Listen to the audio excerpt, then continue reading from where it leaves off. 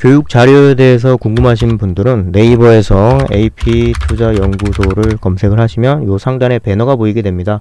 요 배너를 클릭하시게 되면은 요 옆에 공식 유튜브라고 나와 있는 부분이 있죠. 밑에 주식 강의 자료라고 쓰여져 있는 부분이 있는데 이 부분을 들어가게 되면은 AP투자 연구소 주식 강의 자료가 나옵니다. 여기 보시게 되면 대표적으로 하나 이제 김재혁 전문가님의 기본적 분석 주식의 기초라는 부분을 보시게 되면은 자, 이런 식으로 자료들이 다 있습니다. 이렇게 첨부 파일을 통해서 확인하실 수도 있고요.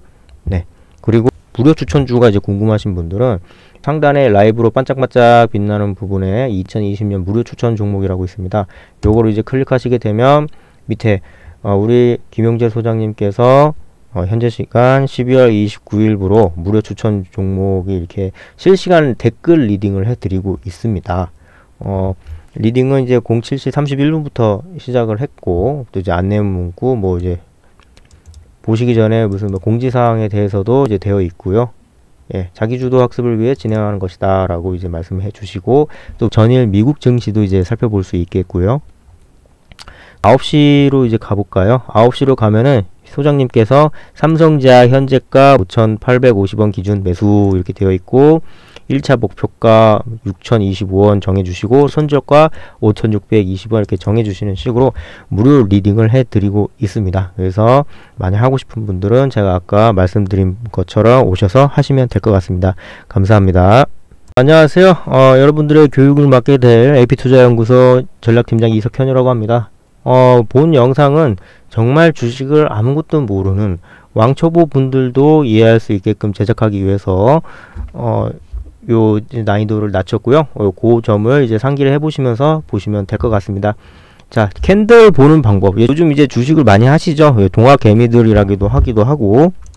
그래서 주식을 맨 처음에 시작하는데 차트라는 곳을 보게 되면은 웬 이상한 어, 막대기들이 막 왔다 갔다 하는 모습, 뭐 실시간으로 왔다 갔다 하는 모습 보실 수 있는데 그거를 이제 candle이라고 정의를 합니다. 근데 그 candle이 하나하나 다 의미를 하는 것이 있어요. 그 candle이 의미하는 바를 오늘 저와 함께 공부를 하면서 알아가 봅시다. 자, candle 올바르게 보는 법. 자, 요렇게 그 candle 양초에 빨갛게 굵은 길이가 있는 반면에 심지처럼 빨갛게 이쑤시개처럼 이렇게 달려 있는 게 있어요. 요거는 이제 윗꼬리라고 합니다. 예.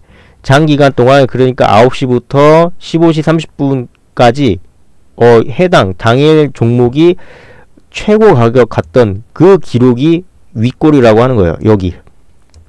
네. 그리고 요 몸뚱아리 윗부분, 이 부분은 종가라고 하는데요. 몸통의 윗부분을 이야기합니다. 종가라고 하면 자 15시 30분에 장이 끝나죠. 그 15시 30분에 기점으로 해서의 주가의 최종 가격을 말합니다.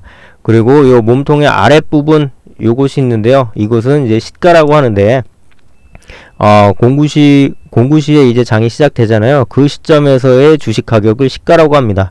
그것을 이렇게 표시를 한 거고요. 그리고 또 최저가. 아래꼴이라고 있어요. 좀 이게 밑으로 이렇게 살짝 이렇게 되는데 좀 이렇게 늘려보겠습니다. 만약에 이런 식으로 돼 있다. 그러면 여기가 어, 장중 기간 동안 최, 최저, 최저로 떨어진 금액을 표시를 했다. 그래서 아랫골이라고 합니다. 그리고 요 전체적인 요 부분을 캔들의 몸통이다 라고 표현을 합니다. 네, 양봉을 봤으니까 그럼 이제 음봉을 한번 볼까요? 네, 음봉을 한번 보겠습니다. 자, 음봉은 좀 그거 아까 말한 양봉하고는 반대라고도 볼 수 있어요. 요 몸통 윗부분과 아랫부분에 대해서 이제 반대인데 차근차근 알아가 보겠습니다. 요 심지처럼 요 위에 이제 나와 있는 부분 있죠? 요 부분이 이제 윗꼬리입니다. 최고가 장중에서 기록된 최고가를 의미를 하고요. 그리고 요 캔들의 윗부분 이제 시가라고 얘기를 합니다. 몸통의 윗부분이라고 하죠. 그리고 요 아랫부분 이 부분을 뭐라고 하냐면 몸통의 아랫부분 종가 종가를 의미합니다. 장이 15시 30분에 끝나니까 15시 30분을 기점으로 해서 해당 종목의 최종 가격을 이렇게 표시가 되는 겁니다. 그리고 요 아랫꼬리 요 꼬리는 해당 종목이 당일날 떨어졌던 최하 가격, 최저가를 의미를 합니다. 그리고 마찬가지로 요거는 이제 캔들의 몸통, 음봉이라고 얘기를 할 수 있겠죠. 그러면 이러한 이제 양봉과 음봉을 기본적으로 알아봤는데 요걸 이제 활용을 해서 어떤 식으로 어 판단을 할 수 있는지에 대해서 한번 알아볼게요. 그중 첫 번째가 적산병입니다. 적산병이라는 것은 아까 제가 말씀드렸던 요로 요걸 이제 빨간색으로 되는 거 이제 양봉이라고 하는데 요 양봉의 연속 그러니까 3일 연 3거래일 연속 어 양봉을 기록됐을 경우에 적산병이라고 표현을 하는데요. 이 경우에는 주가가 단기적으로 혹은 중장기적으로 상승 전환했다라고 보통 받아들여지고 있는 어, 그런 신호라고 보시면 되겠습니다. 어, 제가 이해하기 쉽게 덕산 네오록스의 차트를 가져와서 적산병의 예시를 가져와 보게, 볼게요. 자 여기 보시게 되면은 음봉 3개였죠. 뭐 양봉 하나 음봉 3개였다가 요때 양봉 하나 양봉 둘 양봉 셋 이거를 이제 적산병이라고 해요. 이런 거를 적산병이라고 해요. 자, 적산병이 시작되니까 어떻게 됩니까? 쭉 올라가죠. 예. 요런 모습을 이제 주기적으로 보여주는 대략적으로 보여주는 것을 이제 적산병이라고 합니다. 근데 모든 부분에서 이 적산병 양봉 3개 나왔다고 해서 무조건 다 적산병 아닙니다. 예.